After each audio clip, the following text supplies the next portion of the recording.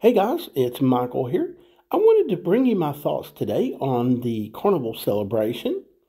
I've got a list here of 10 items. It's a quick video. I'm going to share eight things that I really loved about Carnival celebration and a couple things that I just didn't like as much, okay? Everybody has their own opinion, of course, and I always encourage people to to seek out uh, as many uh, as much information as you can. So today, here's my thoughts, okay? Let's start with uh, the things that I do like about Carnival Celebration. And these are no particular order at all. I'm going to start with number one, which is the obvious size of the ship. The thing that I like about that, of course, it's beautiful, it's big, it's huge, it's all that. But um, for so many people that say, oh, it's, you know, too many people and stuff. Well, actually, no. Uh, I kind of like it because with the size of this ship, the as far as crowds, everybody crowded in one area or anything, that really doesn't happen a lot. The ship is so large that there are places that you could go to that there's nobody there. I've done that. It's amazing. It's crazy, really. Uh, with that many people on board, people are so dispersed that I, I really like that. So there's so much offered and so much space that uh, I know, like on some of the smaller ships, it seems like a lot of times people will gather at the uh, the pool area. The and that's really on a lot of ships the only outside place that you can go. And uh, so this I really do like the fact that the ship is so so large that people are dispersed throughout the ship, and and you you don't uh, you don't feel like you're in a crowd all the time. I, I think that's a big plus. I like that. Okay, number two, I'm going to go with the food. That's a lot of people's favorite, certainly mine. The food, uh, there's so much to choose from. You can go, well, they not only is there so much to choose from, they've offered new restaurants that have never been offered before. And when it comes time to go to, to dinner, breakfast, whatever, uh, a lot more places are offering breakfast uh, you you have many, many, many choices, and you're not stuck to just a few places. So now, um, I want to mention really quick two of my favorites with this ship. It's also uh, with uh, the Mardi Gras and will be Jubilee, or is Chibang. I love Chibang. The food, it was the flavors. Wow, it's something very different for Carnival.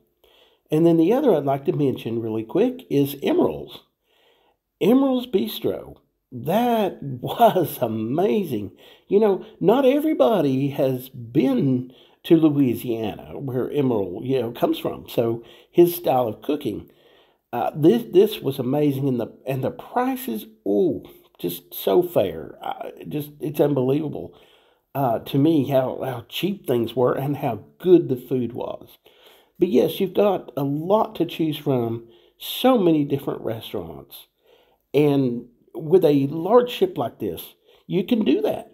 You don't, you know, if you don't want to eat dinner at the main dining room, if you don't want to go to the buffets, there's so many different choices. So, yes, for me, number two is going to be the food. Okay, moving on to number three.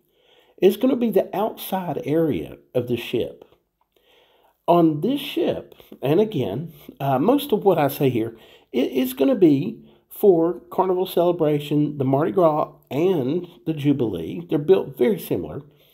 The outside area of the ships, uh, these ships, uh, if you're outside, if you want to pull over in the shade, there is so much covered area on the outside decks. It, it is, to me, just I welcome this.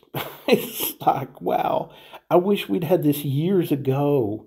Uh, if it comes up a rain, you know, whatever, oh, everybody just kind of scoots under the, you know, the covering there.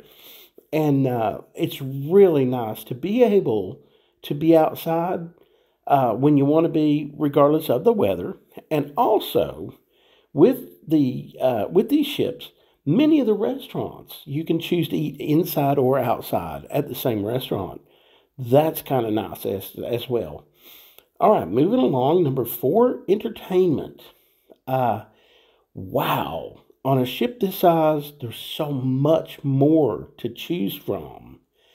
Uh, whether it be the comedy club, the shows, the you know the theaters, the uh, bands playing, whatever you choose, just a lot more to to choose from. On this ship in particular, or well, any of the uh, three, the Punchliner Comedy Club has its own has its own place.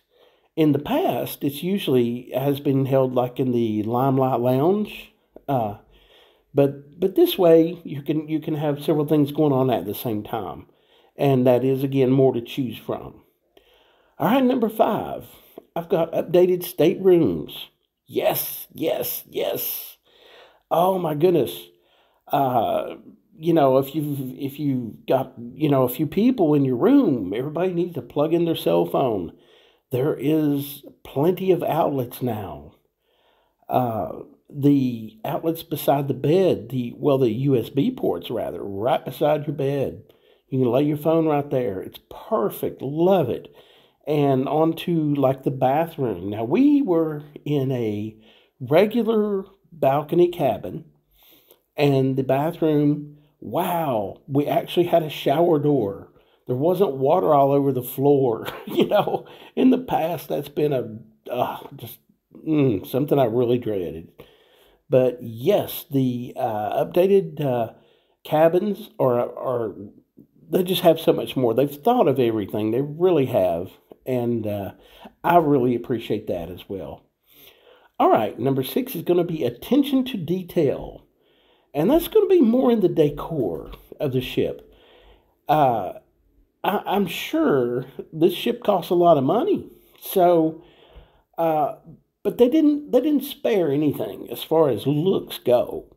The the detail down from like the furniture.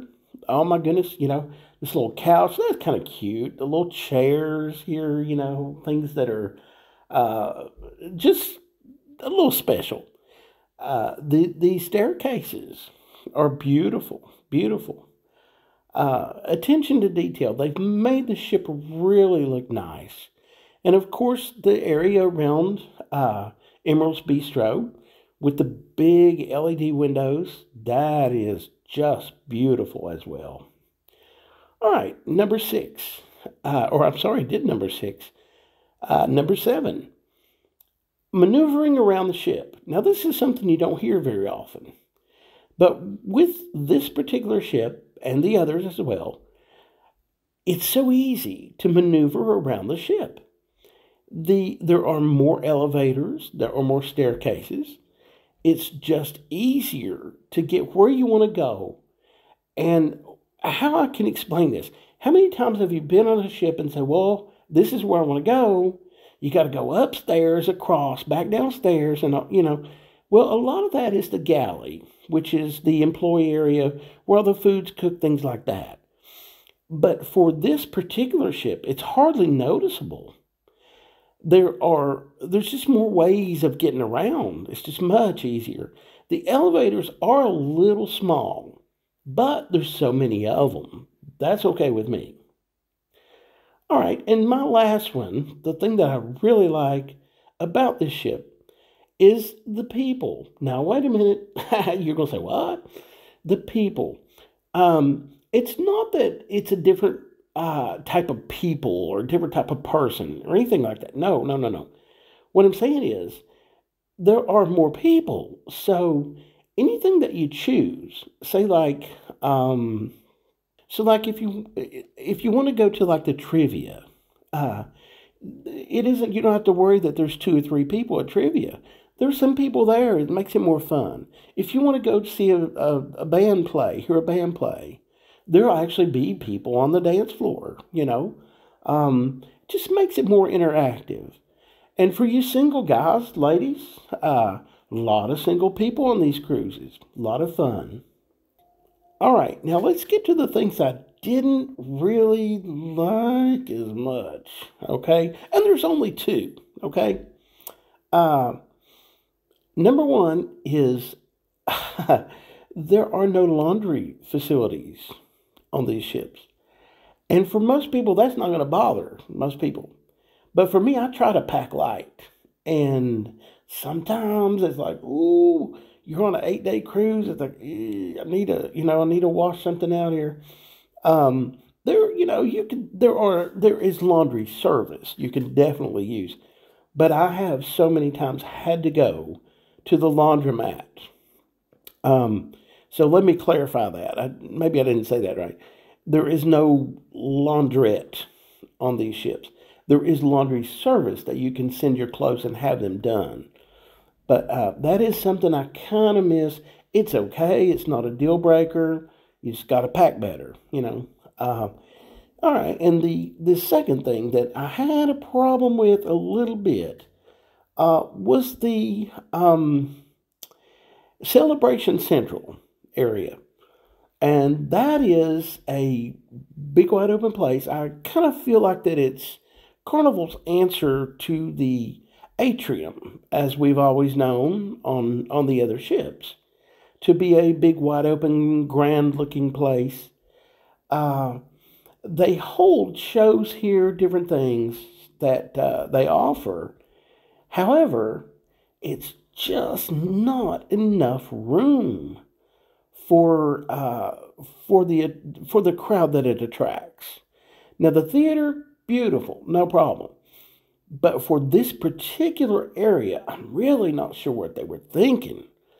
Um, mm, that could have been done just a little bit better. But guys, hey, that's my thoughts, you know. Okay, guys, so overall, would I recommend the Carnival Celebration? Absolutely hands down it was it was amazing. Beautiful and offers so much. So yes. Guys thank you so much for watching. I'm going to wrap it up. Again my name is michael. Hey how about clicking that like button if you enjoyed the content? And as always we invite you to subscribe if you have not already. We will have new videos coming out soon. Thank you so much for watching and i will see you next time